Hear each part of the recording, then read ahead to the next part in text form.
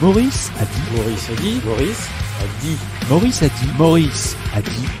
À quelques encablures du palais de l'Élysée, entre le Louvre, qui serait sans doute l'un des sites touristiques les plus visités de chez nous, et le plus grand jardin de, de la ville, on n'arrête pas d'empêcher les mecs de vendre des bouteilles d'eau euh, à frelatées à des gens qui seront peut-être malades. On n'arrive pas à, à empêcher les les mecs qui sont euh, sur le trottoir qui empêchent les gens de passer et ils installent leur stand, leur tapis là avec tous les, les trucs à vendre.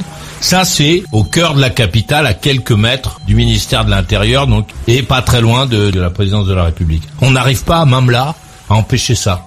Alors imagine euh, ce qu'on peut empêcher à je sais pas où, à Marseille, en France, en 2022, on attaque les commissariats. Il y a des mecs, ils prennent des, des engins explosifs et ils attaquent les commissariats. C'est la vie de la France euh, maintenant, c'est comme ça.